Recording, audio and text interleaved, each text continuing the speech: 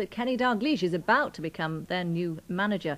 A number of national newspapers say the former Liverpool boss has agreed to join the Ewood Park club, now backed by the millionaire Jack Walker. But this latest publicity does nothing for the confidence of the man currently in temporary charge of the team.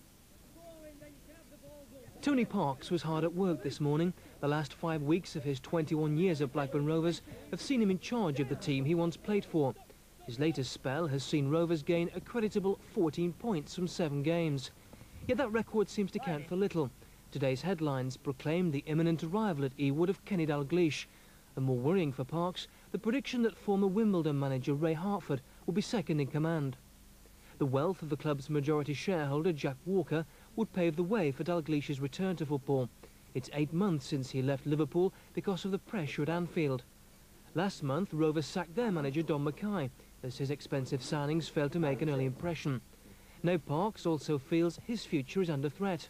I'm just hoping that somebody from the club, uh, such as the chairman, may telephone me today or come to see me and tell me just what is happening.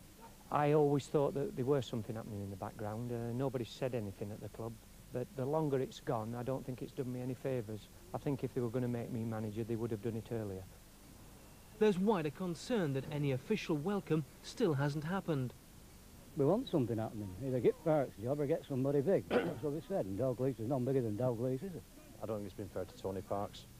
I think he's done a good job. Uh, and he's done the position he's in. He's, uh, he's walking up a blind alley at the moment. Rover's official silence only fuels the rumours.